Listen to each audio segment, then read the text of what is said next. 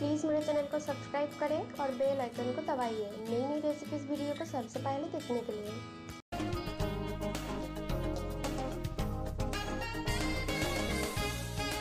Hi friends welcome to भूरी भोज recipe आज हम बनाएँगे चिकन फ्राइड राइस ये बहुत ही आसानी से घर पे बना सकते हो। फ्राइड राइस को कैसे बनाते हैं सीखने के लिए वीडियो को पूरा एंड तक देखिए। पहले चिकन को मैरिनेट करके रखेंगे। इसीलिए चिकन को अच्छे से क्लीन कर लिया है और छोटा छोटा पीस कर लिया है। इसमें डालेंगे नमक, गोल मिर्च powder one tablespoon cornflour इसको अच्छे से मिक्स कर लेंगे और इसमें वन टेबल स्पून ऑयल डालेंगे। फिर इसको अच्छे से मिक्स कर लेंगे।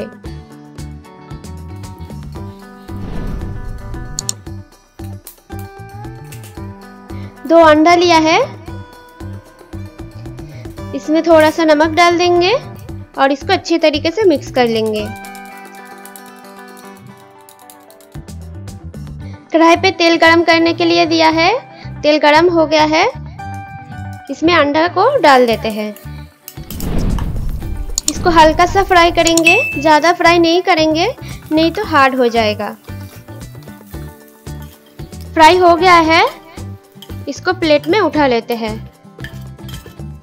कढ़ाई पे थोड़ा सा ऑयल डाल देते हैं। इसमें चिकन को डाल देंगे। चिकन को अच्छे से फ्राई कर लेंगे।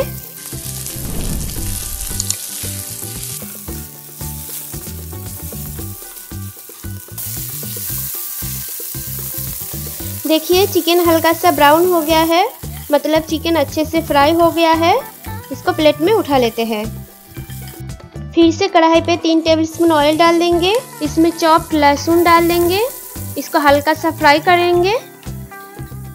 फ्राई करने के बाद सारे वेजिटेबल को डाल देंगे।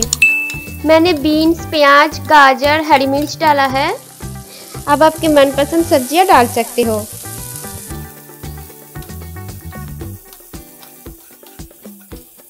हल्का सा फ्राई करेंगे। फ्राई करने के बाद टमाटर डाल देंगे टमाटर को हल्का सा भूनेंगे।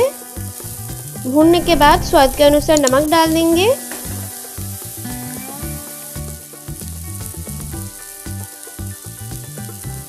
इसको अच्छे से मिक्स कर लेंगे। मिक्स करने के बाद फ्राइड चिकन को डाल देंगे।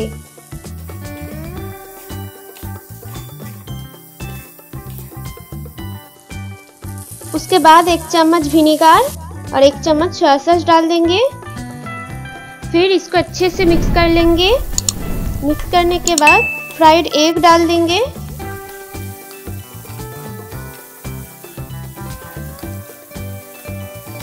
उसके बाद राइस डाल देंगे। इसको अच्छी तरीके से मिक्स कर लेंगे।